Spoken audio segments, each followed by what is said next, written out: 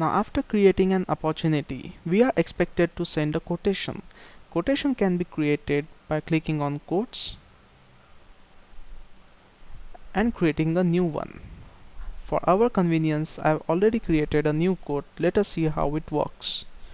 I just write in the name CRM administrator of the person who is sending the quote to a potential customer to whom the quote has to be sent and a predefined price list.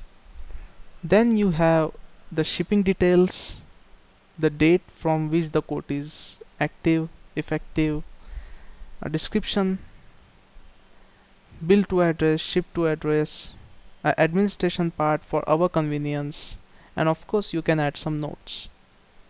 Again, these fields are also customizable. Now as soon as you save it,